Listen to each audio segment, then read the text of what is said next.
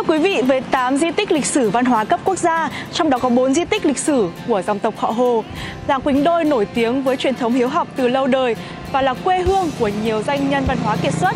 Trong đó có bà chúa Thơ Nôm, Hồ Xuân Hương, là nữ thi sĩ đầu tiên của Việt Nam được UNESCO vinh danh là danh nhân văn hóa thế giới.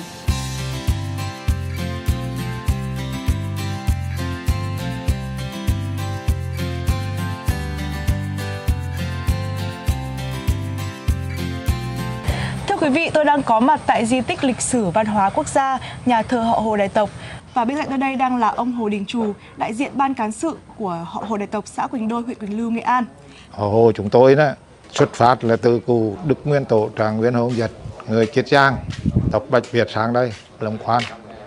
Và sau đó à, là ngài về là ở ẩn lập trại chủ ở tại xã Ngọc Sơn, huyện Quỳnh Lưu.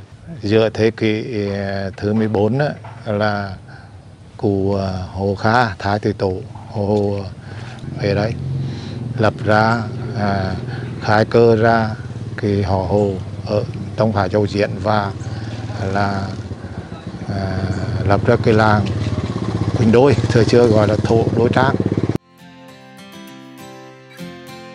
Làng Quỳnh Đôi có truyền thống văn hóa và cách mạng và là làng có hương ước sớm trong cả nước. Đây cũng là quê hương tổ tiên của vua Quang Trung Nguyễn Huệ Hồ Thơm, vua Hồ Quý Ly. Làng Quỳnh lắm kẻ đăng khoa, ông nghè ông cử như hoa làng Quỳnh.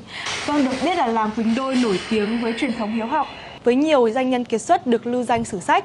Vậy thì bác có thể chia sẻ rõ hơn về truyền thống này không ạ?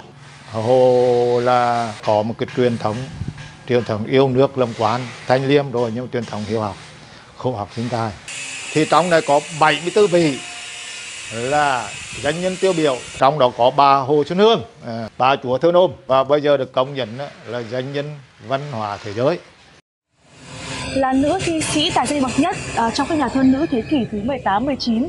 Tuy nhiên thì phần tiểu sử của nhà thơ Hồ Xuân Hương lại được viết rất sơ lược, thậm chí là nhiều chỗ còn mơ hồ và thiếu thống nhất. À. Là hậu duệ của dòng tộc họ Hồ thì ông có thể lý giải rõ hơn về thân thế của bà được không ạ? À. Bà Hồ Xuân Hương là cháu đời thứ 12 của Hồ Đại Tộc Bình Đôi. Bà sinh năm 1772 và mất năm 1822 em chung lồng cố với lại là quang trung của nghề hồ thơm. À, thì à, cụ hồ phi diện là đồ sinh đồ. Sau đó cụ á, là ra ngoài bắc dạy học. À, ông lấy một bà hồ mái à, mà người hải dương sinh ra hồ xuân hương bà ông không sinh không có con trai. Ở thời xưa các cụ á, là có những có con trai thì phạ ghi chỉ có đến cái đời đó thôi. Thế sau này không ghi tiếp nữa cho nên là thân thế sự nghiệp của bà Huân Sương là không rõ.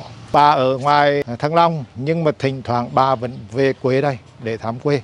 Và nó có cái, nhiều cái bút tích nhiều cái là địa điểm bà về đây là như Quỳnh Đôi đang lưu lại trong sử sách và trong truyền thuyết theo giải thoại nữ thi sĩ Hồ Xuân Hương dù sinh ra và lớn lên ở đất Kinh Kỳ nhưng đã từng về quê cha ở làng Quỳnh Đôi. Theo chân ông Hồ Đình Trù, chúng tôi đến giếng cả trong giai thoại xưa, nay chỉ còn vết tích, nơi bà chúa Thơ Nôm từng đi gánh nước, và cũng từ đây bài thơ Vũ hậu tức cảnh ra đời. Thế là bà về đây đi đi đi giếng nước á, đi nước á, về cho gia đình dùng á. Rồi về cái bữa nữa là trời mưa thì bà nó ngã. Ngã thì à, bị mất nồi, nước chảy ra.